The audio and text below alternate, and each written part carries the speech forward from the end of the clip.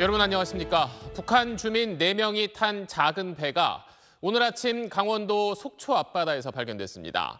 그런데 근처에 있던 우리 어민이 그 선박을 확인하고 신고할 때까지 군은 현장에 출동하지 않았습니다. 우리 군의 경계 감시에 구멍이 뚫렸다는 비판이 나오고 있습니다. 오늘 첫 소식 먼저 조윤아 기자가 전하겠습니다.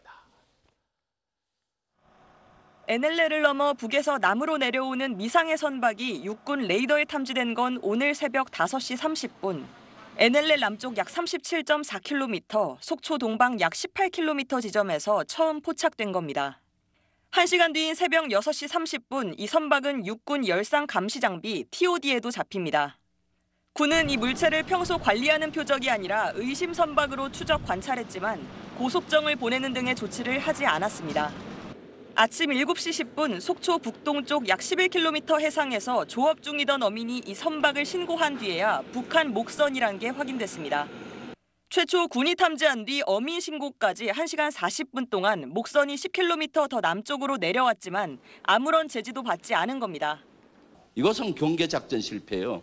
어떻게 생각하세요?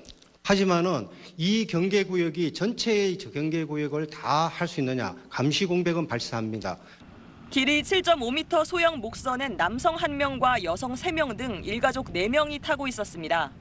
신고를 받고 출동한 해경은 오전 7시 50분쯤 이들의 신병을 확보해 정부 합동 정보조사팀에 인계했고 합동신문을 통해 귀순 의사 등을 확인하고 있습니다. 합참은 어민 신고가 들어오기 7분 전 현장 근접이 필요하다는 표적 번호를 부여했다면서 동해 NLL은 동서로 400km에 달해 소형 표적을 포착하는 데 어려움이 있다고 해명했습니다. 결과적으로 어민이 북한 선박을 신고할 때까지 군이 출동하지 않은 건데 NLL의 경계 감시에 구멍이 뚫렸다는 비판을 피할 수 없게 됐습니다. SBS 조인아입니다.